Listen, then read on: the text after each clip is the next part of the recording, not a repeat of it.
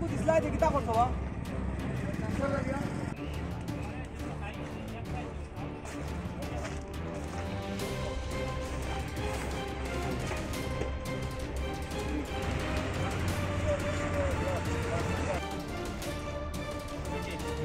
আনুমানিক এগারোটা পনেরো মিনিট হবে প্রায়।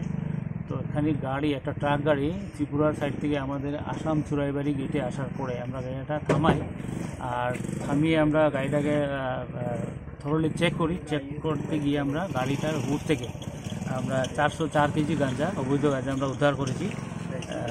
আর এই গাড়িতে থাকা গাড়ির ড্রাইভার সুজন মিয়া ও তার সঙ্গে থাকা আমদাদুল হক দুজনকে আমরা করায়ত্ত করেছি।